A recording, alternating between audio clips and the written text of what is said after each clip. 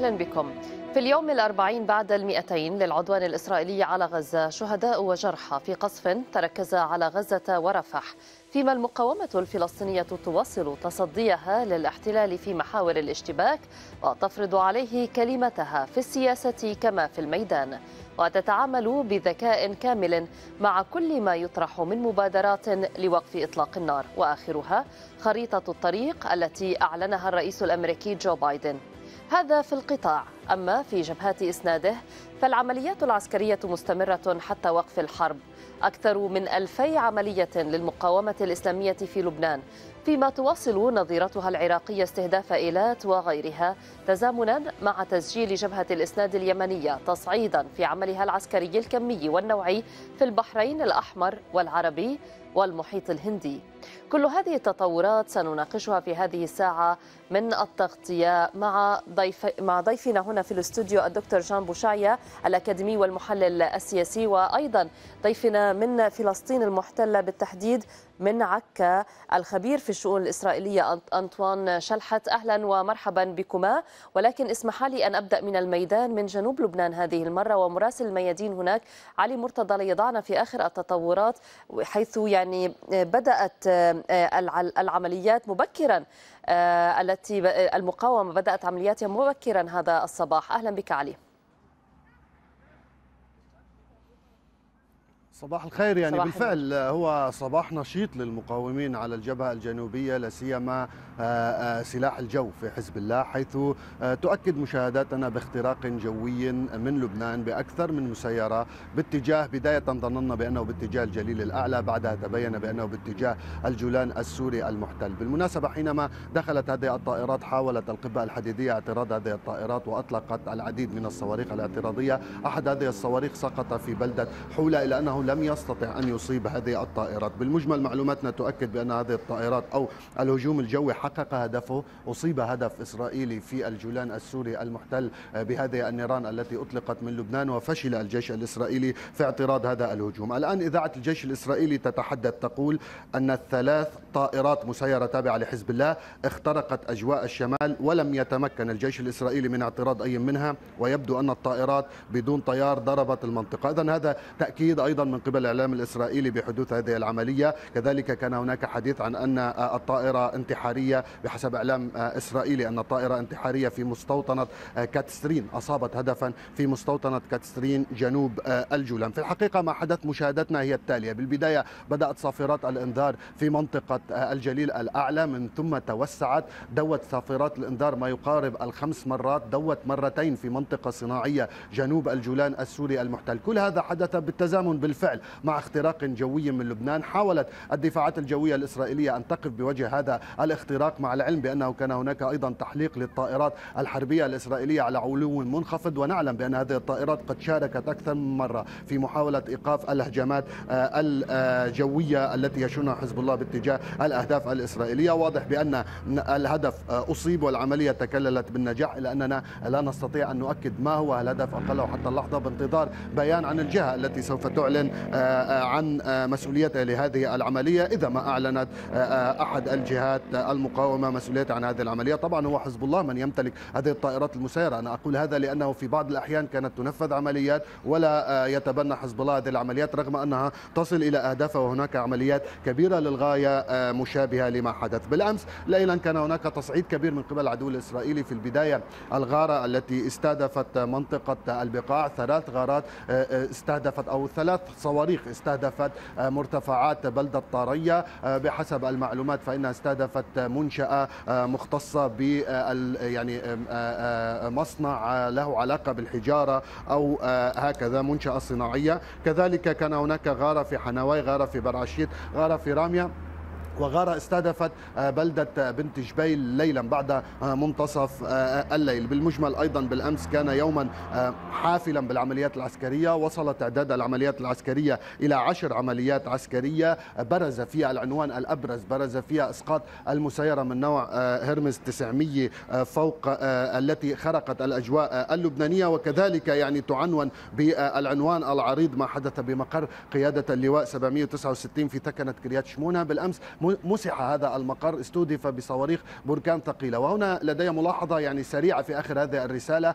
عادة صواريخ البركان منذ بداية هذه الحرب تستهدف الحافة الأمامية والمواقع الأمامية. رأيناها ماذا تفعل بمواقع مثل راميا والراهب وغيرها. ولكن هذه أول مرة تصل صواريخ البركان إلى هذه المسافة. يعني تتحدثين بداية عن مسافة تقارب 4 3.5 كيلومتر تقريبا عن الحدود. وبالتالي نتحدث عن أعتقد بأننا بالتحليل نتحدث عن نوع جديد من صواريخ البركان هو أثقل ودقيق أكثر لأنه أطلق إلى مسافة بعيدة وهذه ليست المسافة التي تعودنا عليها لصاروخ البركان. طبعا يترك هذا الأمر للمحللين العسكريين وللمقاومة لتعلن عنه ولكن في البيان المقاومة ربما جرى التلميح لهذا الموضوع عبر الحديث عن صواريخ البركان الثقيلة. يعني قيل عادة يقولون صواريخ البركان ولكن حينما تزاد كلمة ثقيلة فبالمجمل يبدو أننا أمام نوع جديد من صواريخ البركان الذي يصل إلى مدى ما يقارب 4 إلى 5 كيلومتر وهو أصاب إصابته بشكل نقطوي يعني ضرب المقر وأصابه ودمره وهذا طبعا يعتبر أحد عناوين العمليات العسكرية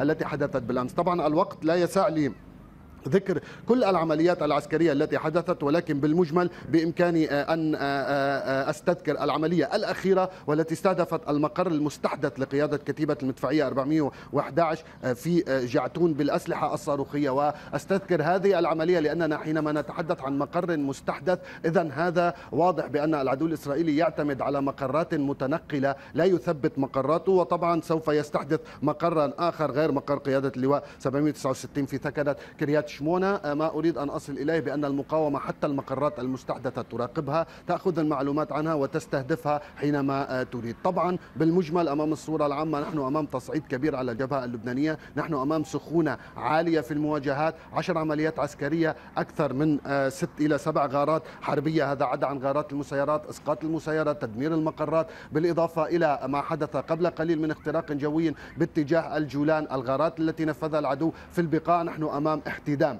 لهذه الجبهة الداعمة لفلسطين ولمقاومة غزة وشعبها. شكرا جزيلا لك علي مرتضى مراسل ميادين. كنت معنا من جنوب لبنان إلى فلسطين. المحتلة خان يونس معنا هناك. في غزة. معنا مراسل الميادين أحمد غانم ليضعنا في آخر التطورات. يعني وأيضا كان هناك إطلاق نار كثيف في مخيم أنصراء بالإضافة إلى انتشال المزيد من جثامين الشهداء من شمال القطاع بعد يعني انسحاب قوات الاحتلال من مخيم جباليا لا تزال يعني عمليات انتشال جثامين الشهداء تتواصل. ضعنا في آخر التطورات لديك أحمد.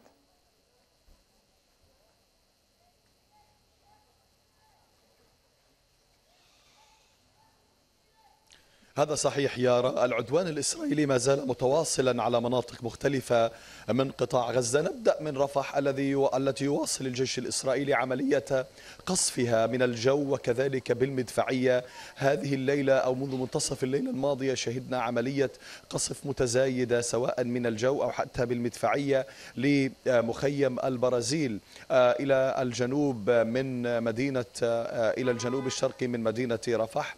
وهو يقع على تماس مع الحدود يعني المصرية وكان الجيش الإسرائيلي قد تجاوز هذا المخيم بآلياته ودباباته باتجاه بوابة صلاح الدين بعد أن اجتاز ما يعرف بحي القشطة وصولا إلى طبعا مخيم يبنى ومن ثم تجاوزته الآليات الإسرائيلية حتى وصلت إلى تل السلطان وتحديدا التلة المعروفة بتلة زعرب والتي بدأ منها الجيش الإسرائيلي قبل عدة أيام عملية قصف متواصلة ومستمرة لمعظم الأحياء الغربية للمدينة. الآن المخيم الغربي يتعرض في في منطقة غربي مدينة رفح يتعرض إلى قصف إسرائيلي عنيف من الطائرات الحربية وكذلك أيضا إلى قصف مدفعي متواصل لا يتوقف. الجيش الإسرائيلي منذ عدة أيام يدمر منازل مدنية بطبيعة الحال هي غير غير مأهولة بالسكان ولكن من الواضح بأنه يسارع في عملية تدمير مدينة رفح ولا سيما الأحياء الغربية منها بعد أن كان قصف الحي السعودي وكذلك مناطق مثل الشابورة وحي الجنينة بالإضافة إلى مناطق شمالية رفح كل هذه المناطق في الحقيقة تتعرض إلى عدوان إسرائيلي بالتزامن مع توغل أو محاولات إسرائيلية للتقدم في آه، الأحياء الغربية لتل السلطان حيث آه، حاولت يعني أو يتمركز الجيش الإسرائيلي في آه، منطقتين في المناطق الغربية بينها تلة زعرب وكذلك أيضا ما يعرف بمفترق أو دوار زعرب من هاتين المنطقتين يواصل الجيش عملية استهداف الأحياء الغربية ولكن الأخطر بأن الجيش الإسرائيلي يستخدم طائرات كواد كابتر إسرائيلية تطلق النيران على كل من يتحرك في منطقة تل السلطان وهناك أعداد من الشهداء ملقاة في الشوارع أو ملقون في الشوارع. لا يستطيع أحد الوصول إليها ولا سيما أن الجيش الإسرائيلي استهدف اليومين الماضيين سيارة إسعاف أودت بحياة اثنين من العاملين بالقطاع الصحي بطبيعة الحال الوضع في رفح صعب للغاية ولا سيما مع خروج معظم المستشفيات عن الخدمة والآن من يعمل في مدينة رفح. هما مستشفيين أو نقطتين ميدانيتين طبيتين. إحداهما المستشفى الأمريكي على شاطئ البحر وكذلك أيضا نقطة طبية أقامتها وزارة الصحة تابعة لمستشفى أبو يوسف النجار على شاطئ البحر. وهذه أيضا لم تبدأ العمل بشكل بشكل آه، فعلي وبطاقتها الكلية. أيضا في خان يونس استمع خلال الساعات الماضية إلى غارتين إسرائيليتين في منطقة القرارة. لم يبلغ عن وقوع شهداء وإصابات فيهما ولكن المنطقة الوسطى هذه الليلة في الحقيقة شهدت غارات إسرائيلية وقصفا مدفعيا لم يتوقف بالتزامن مع توغل إسرائيلي في المناطق آه، في منطقة محيط أبراج آه، الأسرى وتحديدا في منطقة الزهراء أو شمال منطقة آه، شمال منطقة الزهراء. هذا التوغل يعني الإسرائيلي جاء وسط إطلاق نار كثيف وكذلك غارات عنيفة وقصف مدفعي لم يتوقف حتى ساعات الصباح الأولى. وكذلك أيضا شهدت المناطق الشرقية للمنطقة الوسطى وتحديدا مخيمي البريج والمغازي غارات إسرائيلية عنيفة آه، للغاية. وكنا نتحدث عن أن الجيش الإسرائيلي لا ينسحب من المناطق التي دخل إليها وإنما يعيد تموضعه في تموضعه فيها. الجيش قام منذ ساعات الصباح الأولى بعمليات تجريف واسعة في محيط مدينة آه، الأسرى التي بالمناسبة دمر معظم أبراجها السكنية وهذه المدينة أقيمت لأسرى وفاء صفقة وفاء الأحرار آه، آه، طبعا التي تحرر هؤلاء الأسرى بموجبها والجيش الإسرائيلي عمد إلى تدميرها بشكل بشكل كامل. كما عمد الجيش الإسرائيلي هذه الليلة إلى قصف المحور الممتد من نيت ساريم على شارع صلاح الدين ما يعرف بمفترق الشهداء وكذلك مرورا بالمغراقة ومدينة الزهراء بشكل عنيف للغاية. في مدينة غزة الجيش الإسرائيلي أغار على منزلين إحداهما في حي الزيتون وهذا المنزل آه، لعائلة خليفة وهو بحمد الله كان مخلا من آه، السكان. ولكن المنزل الآخر في منطقة حي الدرج آه، كان مأهولا بالسكان. نجم عن هذا القصف ثلاثة شهداء وعدد آخر من الجرحى فيما يواصل الجيش الإسرائيلي عملية استهداف المناطق الشرقية لمدينة غزة بوابل من القذائف المدفعية وكذلك المناطق الجنوبية الغربية لتل الهوى والشيخ عجلين أيضا بوابل من القذائف. في المناطق الشمالية بعيد انسحاب الجيش الإسرائيلي أو تراجعه من مخيم جباليا تتواصل حسب ما قال الهلال الأحمر والدفاع المدني. عمليات انتشال الشهداء بحسب آخر إحصائية. قال الدفاع المدني جهاز الدفاع المدني بأن قواته تمكنت من انتشال جثامين 120 شهيدا. عدد كبير من هذه الجثامين متحللة عدد كبير من هذه الجثامين كانت عبارة عن هياكل عظمية. هناك أماكن تم العثور فيها على جماجم لشهداء لشهداء وكذلك لا تزال كثير من العوائل حتى اللحظة تحاول البحث عن أو إيجاد جثامين أبنائها ولكن ما جرى في منطقة شمال غزة بحسب تأكيد جهاز الدفاع المدني هي حرب إبادة حقيقية. الأرقام أرقام الدفاع المدني قالت بأن الجيش دمر قرابة ألف منزل ولكن الحقيقة بأن حجم الدمار هناك يوحي بأن هذا الرقم ربما هو رقم أولي. الجيش دمر مربعات سكنية بأكملها جرف البنى التحتية المدارس. عمليا دمر كل مفردات الحياة التي يمكن أن تعيد الحياة إلى السكان كالأسواق خطوط المياه الناقلة آبار آبار المياه وحتى المدارس التي تحولت إلى مراكز إيواء. حرص الجيش الإسرائيلي على تدميرها كي يضمن عدم عودة الناس هناك. ولكن ميدانيا في الحقيقة فإن الناس عادوا إلى مخيم جباليا رغم حالة الدمار. وربما هذه هي إرادة الحياة التي يتميز بها الفلسطيني الذي آه، يعني استمعنا إليهم في كل مرة وهم يؤكدون أنهم سينصبون خيامهم فوق ركام منازلهم ولعل هذا ما يغيظ الجيش الإسرائيلي أكثر ربما من عمليات المقاومة. حالة الصمود في شمال قطاع غزة يواجهها الآن خطر المجاعة. مؤسسات دولية بينها الأونر وحذرت في الحقيقة من التبعات اللا إنسانية للحصار الإسرائيلي المستمر الذي يواصل الجيش فرضه على مناطق شمال القطاع مع استمرار منعه إدخال المساعدات الغذائية وكذلك المساعدات الطبية اللازمة لعمل المستشفيات هناك. وهو ما سيفاقم أوضاع سكان المناطق الشمالية لاحقا خلال الأيام القادمة. نعم أشكرك كل الشكر. أحمد غانم وسلامتك. يعني صوتك واضح عليه المرض سلامتك. أريد أن أبدأ قبل أن نبدأ النقاش فقط أن يعني ألفت إلى هذا البيان الصادر عن المقاومة الإسلامية. في لبنان اليوم قبل قليل. إذا دعما لشعبنا الفلسطيني الصامت في قطاع غزة وإسنادا لمقاومته الباسلة والشريفة. شنت المقاومة الإسلامية يوم الأحد. الموافق الثاني من آه، حزيران يونيو آه، من عام 2024 هجوما جويا بسرب من المسيرات الانقضاضية على مقر كتيبة الجمع الحربي في ثكنة يردن في الجولان المحتل. حيث استهدفت رادار القبة الحديدية فيها وأماكن استقرار وتموضع آه، ضباطها وجنودها وأصابت أهدافها بدقة مما أدى إلى تدمير الرادار وتعطيله وإيقاع الضباط والجنود بين قتيل وجريح. إذا أريد أن أبدأ معك من آخر التطورات دكتور جان يعني وهذا آه، التصعيد في جبهة الإسناد اللبنانية بهذا التوقيت كيف نفهم يعني المقاومة تكثف عملياتها تصاعدها وهي عمليات نوعية بطبيعة الحال؟ كيف نفهم هذا التصعيد في جبهة الإسناد اللبنانية؟ نعم. أولا صباح الخير. وبحب أقول أنه آه، حضرتك قريتي هلأ بيان للمقاومة الإسلامية.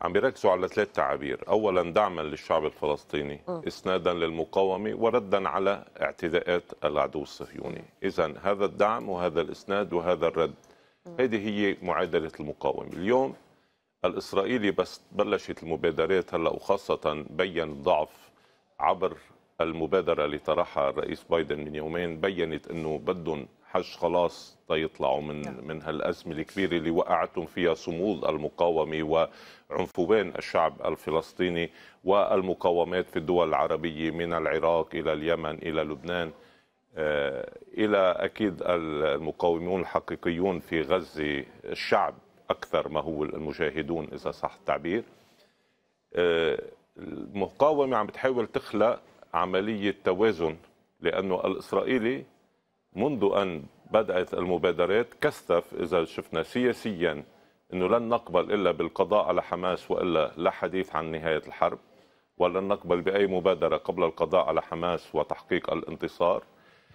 بذات الوقت عم نشوف برفح المجازر اللي عم يرتكبها العدو الإسرائيلي. والممارسات اللي عم بيمارسها على الشعب الغزاوي عبر تجويعه وقهره.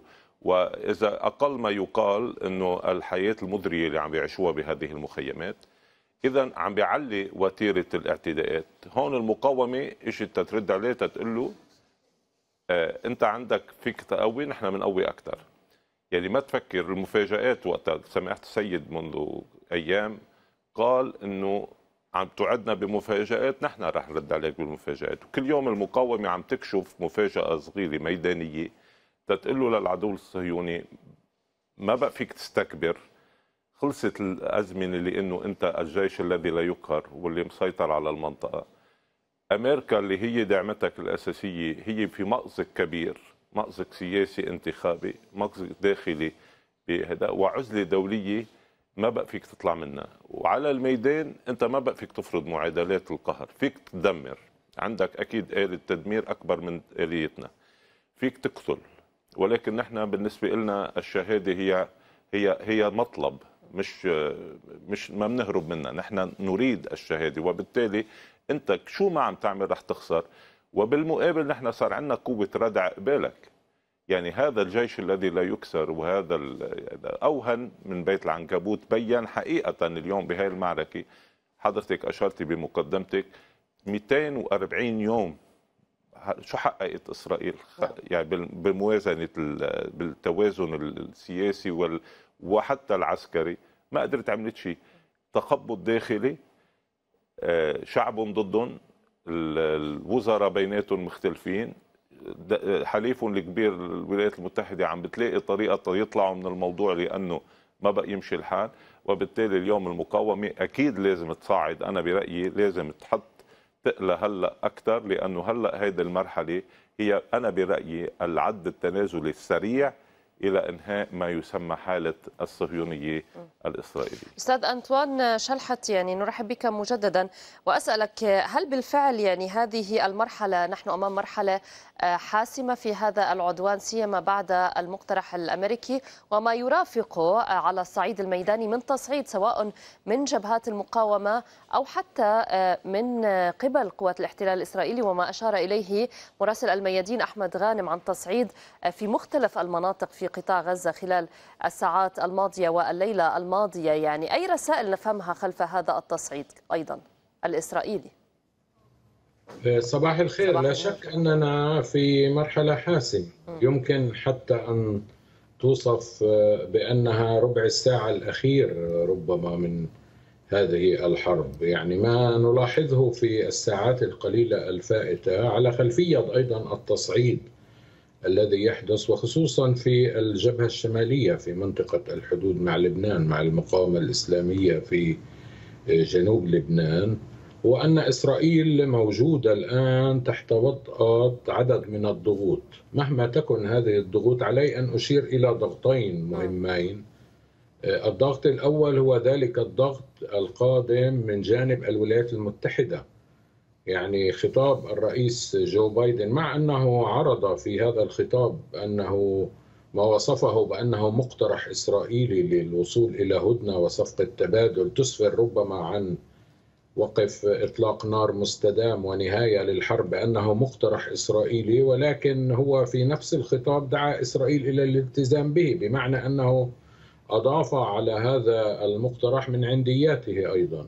هذا ضغط مهم وأنا أعتقد أنه يعكس تحولا في الموقف الأمريكي ربما ليس من الحرب وأهداف الحرب ربما يعكس تحولا في الموقف الأمريكي من الحكومة الإسرائيلية الحالية ومن بنيامين نتنياهو على المستوى الشخصي وهناك الكثير من التقارير في وسائل الإعلام الإسرائيلية في الأيام القليلة الفائتة بما في ذلك التحليلات التي يكتبها ناطقون مفوهون باسم نتنياهو نعم. بأن الإدارة الأمريكية تسعى إلى إسقاط نتنياهو لأسباب طبعا تتعلق بالمصالح السياسية الأمريكية الداخلية لأن الحرب على غزة تحولت إلى بند في السياسة الداخلية الأمريكية.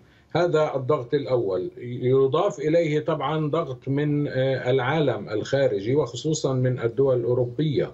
يعني خذي بعين الاعتبار أنه منذ خطاب بايدن هناك ترويج لهذا المقترح الذي طرحه سواء من قبل وزير خارجياته أو من قبل وزراء خارجية دول أوروبية أخرى بما في ذلك مثلا فرنسا. على لسان الرئيس الفرنسي نفسه إيمانويل ماكرون وكذلك من طرف دول الاتحاد الأوروبي وألمانيا وبريطانيا وما إلى ذلك. كل هذه الدول التي كانت بكيفية ما تقف إلى جانب العدوان الإسرائيلي هي الآن تضغط عليها من أجل قبول المقترح. الضغط الثاني الذي لا يقل أهمية والذي أعتقد أن بايدن وجه خطابه إليه هو الضغط الداخلي الإسرائيلي. هناك ضغط داخلي إسرائيلي سواء داخل حكومة الطوارئ.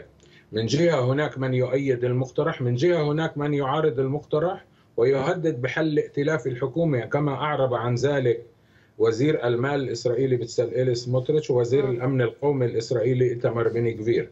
كذلك هناك ضغط من القاع نحو الأعلى ومن المتوقع أن يزداد أكثر بقيادة طبعا عائلات المخطوفين والأسرى. ولذلك يعني ما قلته في البداية أننا وصلنا إلى المرحلة الحاسمة أنا أعتقد ذلك وبرأيي أن تصعيد المقاومة سواء في الجبهة اللبنانية أو في قطاع غزة أو في الضفة الغربية يعني نحن يجب ألا ننسى أن هناك أيضا مقاومة شديدة تجري في أراضي الضفة الغربية تستهدف فعلا إلى أن تصل إلى ربما النهاية المنطقية بين مزدوجين لهذه الحرب. بالمزيد من الإنجازات التي حققتها المقاومة على المستوى العسكري وكذلك أيضا على المستوى السياسي. نعم. طيب آه، يعني آه، دكتور جان الآن عندما نتحدث عن هذه المرحلة الحساسة تابعنا أيضا معا آه، كما ذكرنا بالتزامن مع المفاوضات والمقترح الأمريكي مقترح بايدن أنه هناك أيضا في الجبهات الأخرى تصعيد في اليمن.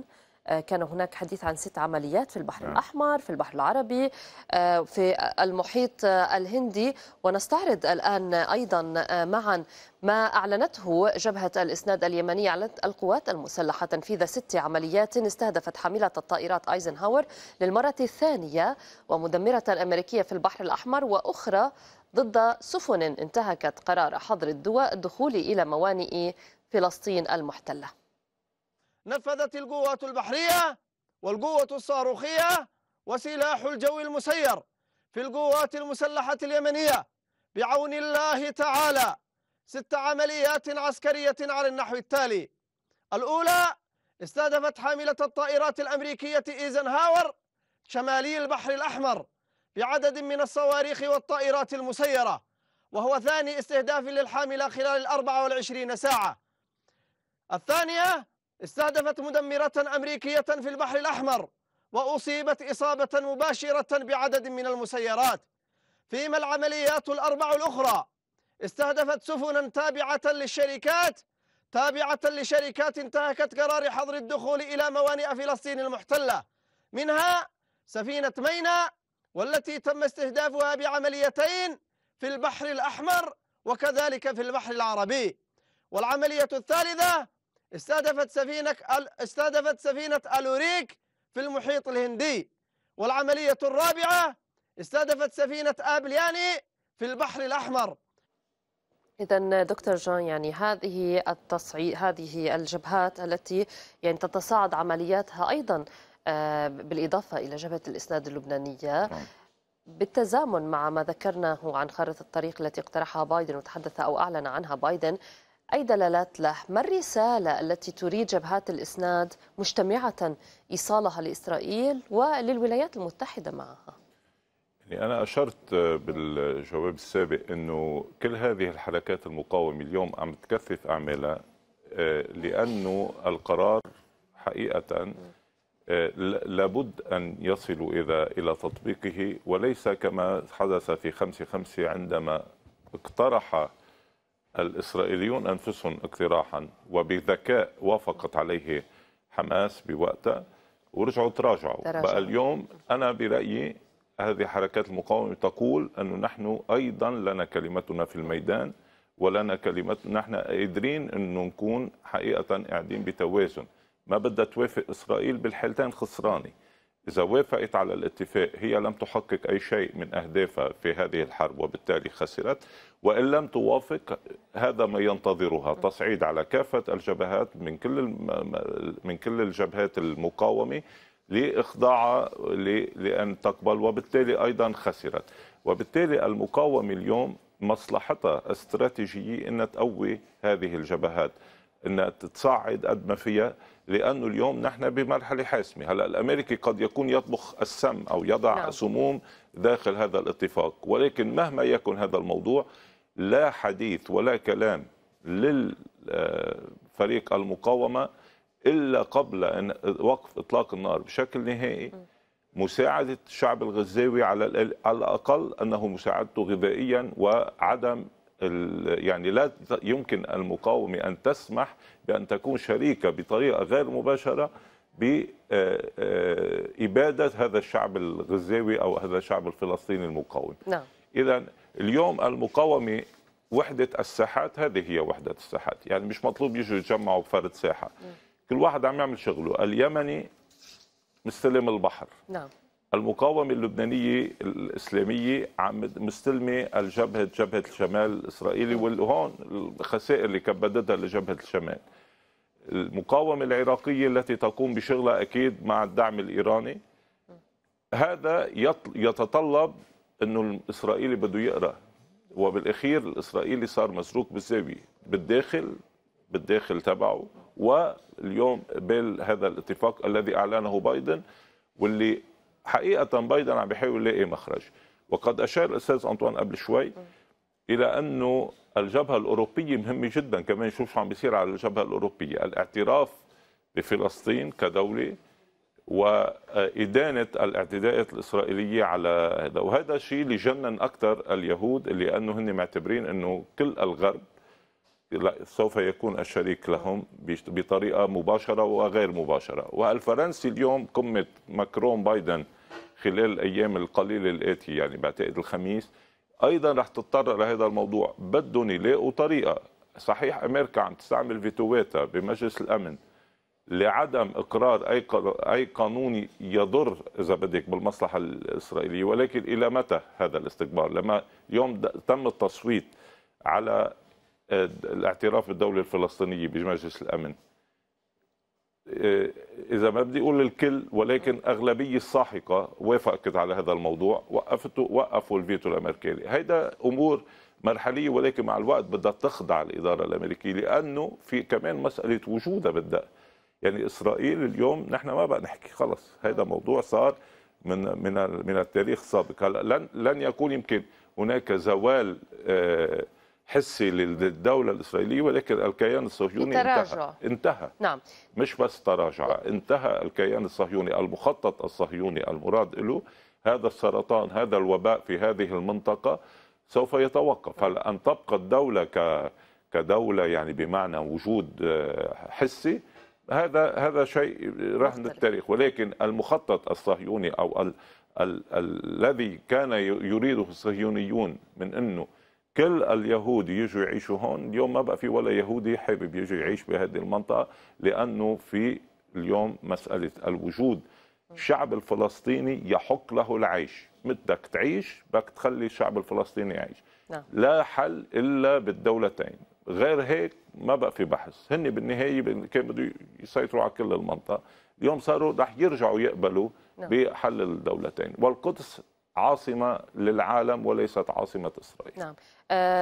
أستاذ أنطوان يعني هل توافق على هذا الكلام بأنه اليوم الإسرائيلي في ظل هذا الضغط العالمي يعني المتصاعد على إسرائيل بعد هذه الإبادة الجماعية التي ترتكبها في غزة في ظل تصاعد التيار العالمي المناصر لفلسطين خاصة في أوروبا والولايات المتحدة والذي بدأت الدول الغربية تستشعر خطره على يعني الحكومات الغربية تستشعر خطره على مستقبلها السياسي في ظل تنامي هذا التيار وفي ظل يعني الرفض لمحاولات قمع الصوت المناصر لفلسطين في أوروبا وفي الولايات المتحدة بالتالي هل فعلا هناك تحول تاريخي اليوم؟ نحن امامه فيما يتعلق بإسرائيل ومشروعها في المنطقة؟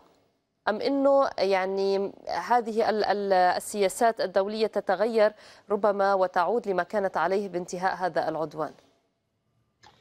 لا شك طبعا فيما يؤكده الأستاذ جان أن هذا تحول تحول نوعي مهم للغاية. إذا ما كان تحولا تاريخيا ربما نقرر ذلك في المستقبل المنظور أو المستقبل البعيد لكن لا شك أنه تحول نوعي ولكن اسمحي لي أن أحدد من الحدة أكثر فأكثر ما قاله أيضا الأستاذ جان فيما يتعلق بالكيان الإسرائيلي.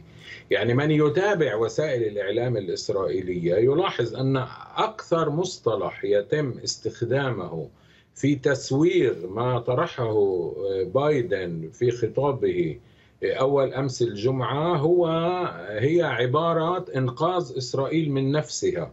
مثل هذه العبارة قيلت كثيرا عن الكيان الإسرائيلي عندما كانت تتحكم فيه الكثير من الحكومات المتطرفة التي لا تستطيع أن تنظر إلى الشعب العربي الفلسطيني وإلى سائر الشعوب العربية في منطقة الشرق الأوسط إلا من خلال فوهة المدفع.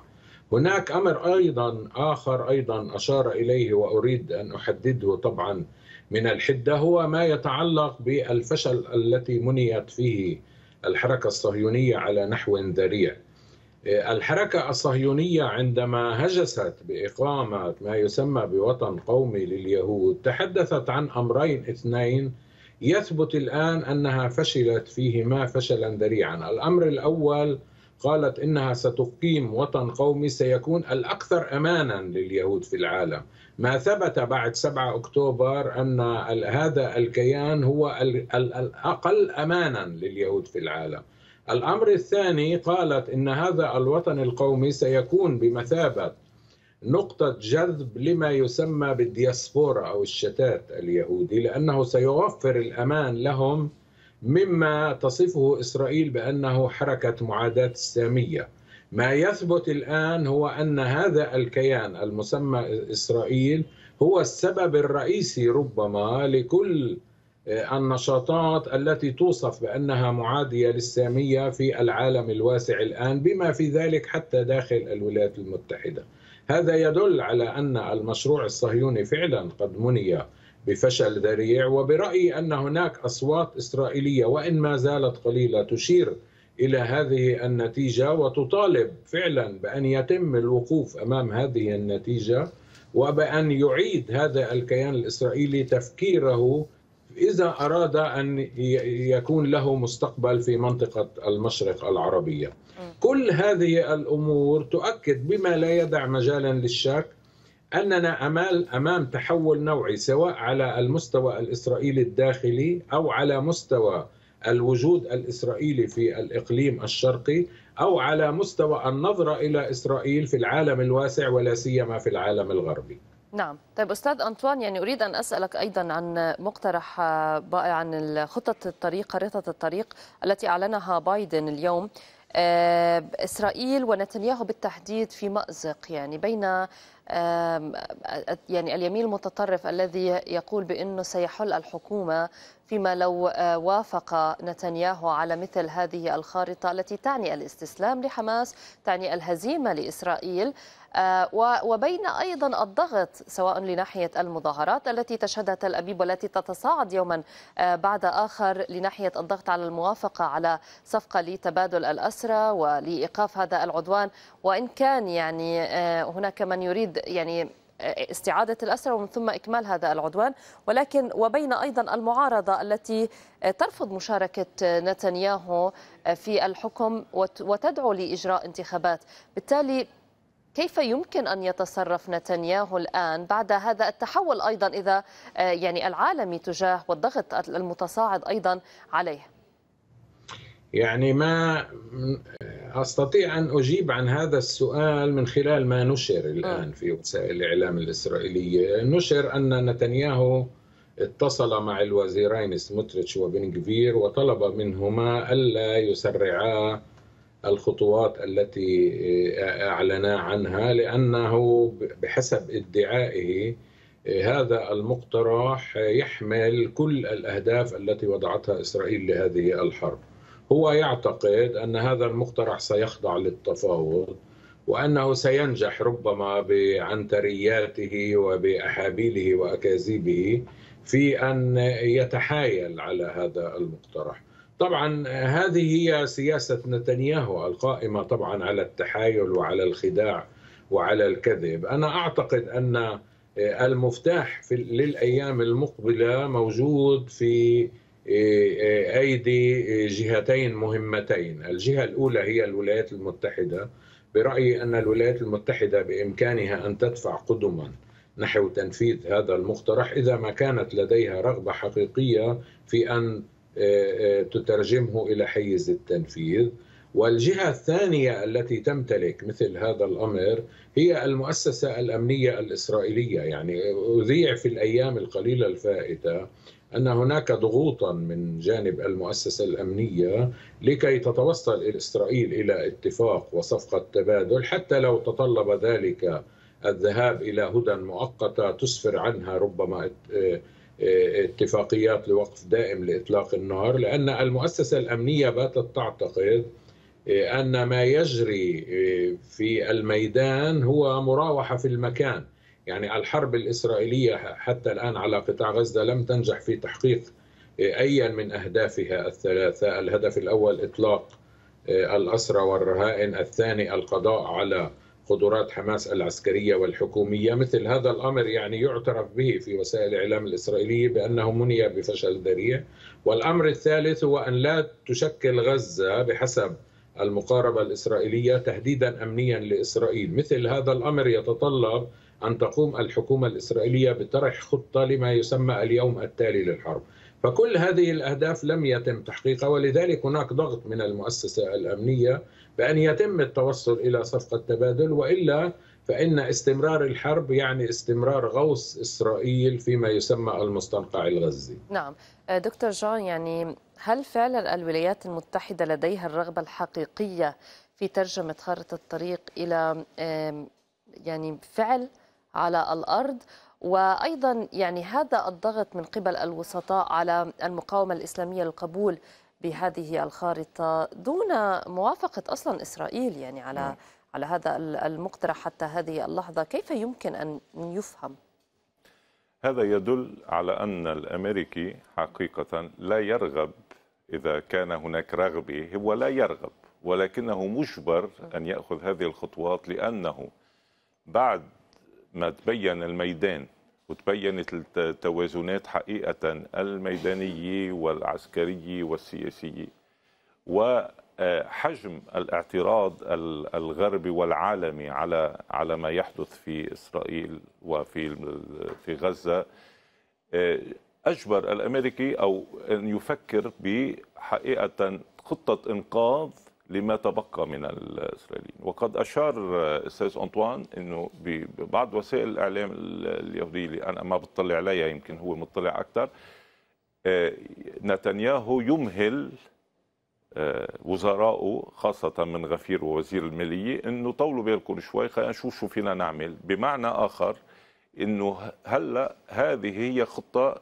عم يعملونها حتى يشيلونا من هذا المستنقع قد نحقق منه شيء. وأنا مقتنع تماما أن أن الأمريكي أكيد حاطط شيء احتيال ولكن لن هيدي الأمور ما بقى ما بقى تمرق عندنا بالمفهوم المقاوم وبالمفهوم جبهة الممانعة لن تمر لأنه اليوم الميدان يدل إلى أن الممانعة حققت ما تبتغيه هي إسناد مقاومة غزة أو الشعب الفلسطيني وهي دعم لهذا الشعب الفلسطيني وهي رد فقط على ما يقوم به الكيان الصهيوني الغاشم اذا اليوم ما حققته المقاومة هي تحقيق أهدافها بالمنطق العسكري ولكن أيضا فرض إذا بدك واقع سياسي مختلف جد جدا على الصعيد العالمي وليس فقط على صعيد المنطقة.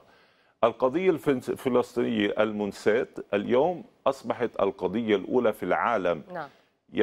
يتحرك مع الرأي العام العالمي اولا الأمريكي والغربي يعني الأوروبي.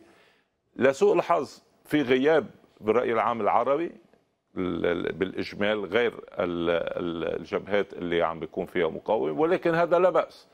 الشعب العربي قد يقتنع والحكومات العربية قد تقتنع أنه الرهان على التطبيع مع هذا الكيان هو رهان خاطئ وهو يضر يعني هو في تناقض للمصالح إذا بدك.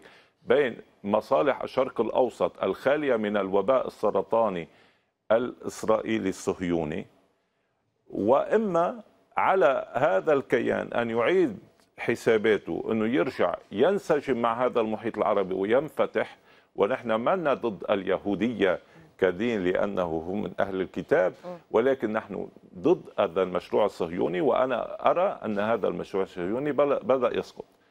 وعودا على بدء. إذا الأمريكي اليوم عرف إنه سقط هذا المشروع وما بقى في مجال ليقوموا يعني من بعد 8 أشهر شو بعد بده يحقق؟ دمار أكثر قتل أكثر ما كل ما عم يقتل طفل عم بينبت قباله شجرة شجرة حياة محل معين. كل ما تسقط نقطة دم عم تروي أرض. كل ما يروح شيء بالكيان بال بال بال بال بال عند الفلسطينيين عند المقاومة الفلسطينيه كل ما عم بيكون في تشدد أكثر بالمقاومة وتمسك بالحياة أكثر الموت الذي يزرعه الصهيوني ينتجه الشعب المقاوم حياة من جديد. وبالتالي قدام هاي المعادلة شو بقى بيقدر يعمل الأمريكي؟ شو بيقدر يغير بعد بالمعادلة؟ كان الرهان إنه بشهرين ثلاثة بتكون إسرائيل روحت حركة حماس برمت على حزب الله ويا طبقت 1701 يا أنهت حزب الله سكرت جبهة المقاومات أو جبهة الممانعة وبالتالي بترجع إسرائيل بتسيطر وبترجع أمريكا بتحقق سياساتها بالشرق الأوسط. تبين إنه حساب البيدر غير حساب الحقل. وبالتالي لم يصلوا إلى أي نتيجة فأصبحوا مرغمين على خلق اتفاق ينقذ إسرائيل من المأزق ينقذ الولايات المتحدة بسياساتها الداخلية وخاصة هن قادمين على انتخابات. وبالتالي هو خسر الداخل وخسر بسياساته الخارجية. عم بيحاول هو يحقق مكسب بايدن محل معين.